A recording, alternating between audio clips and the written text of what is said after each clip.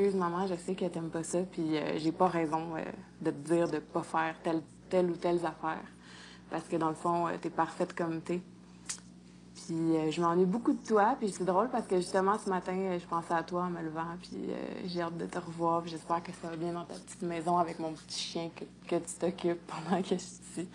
Fait que je t'embrasse fort, puis je t'aime, puis passe une belle fête des mères.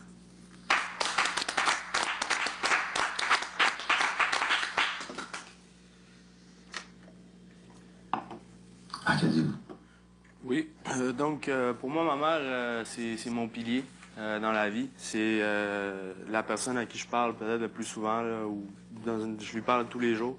C'est sûr que là, j'ai une copine et tout, donc ça, se partage vraiment, mais ma mère, c'est la personne avec qui j'ai grandi ici. quand je suis arrivé au Québec, je suis arrivé avec elle, on était tout seuls les deux, avec son mari.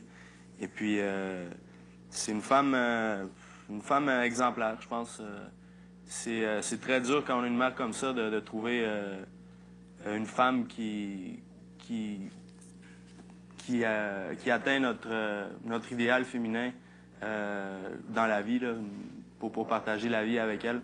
Ça m'a mis la barre très haute et je l'en remercie parce que c'est très important d'avoir un exemple comme ça dans la vie. Pas juste pour le choix des femmes dans ma vie, mais pour, pour plein, plein de trucs. Euh, c'est une femme qui vise l'excellence et puis qui l'a atteint à maintes reprises dans sa vie. Euh, au niveau professionnel, euh, c'est incroyable quand on est arrivé ici, elle travaille comme serveuse dans un restaurant, puis elle a fini ses études, elle en ce moment, elle est prof à McGill, elle excelle dans ce qu'elle fait. Donc, c'est certain que c'est exemplaire de ce côté-là.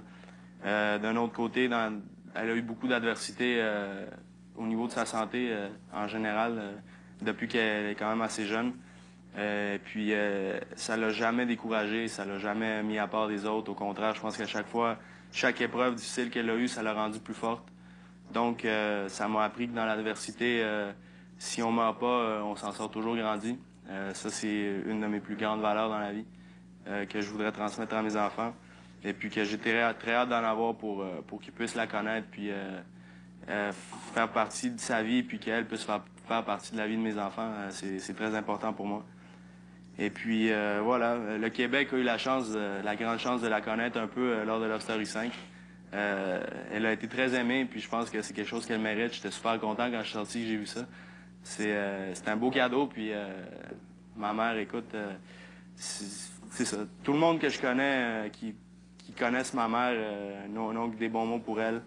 Euh, les gens qui me croisent dans la rue, souvent, ça revient qu'ils me parlent d'elle, puis euh, ça me fait vraiment chaud au cœur parce que je sais que tout ce qu'ils disent, c'est vraiment mérité, puis euh, que ça allait transpercer l'écran comme ça, puis atteindre les gens, ben, c'est tout à son honneur.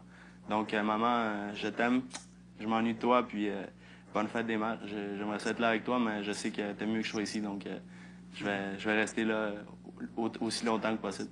Je t'aime.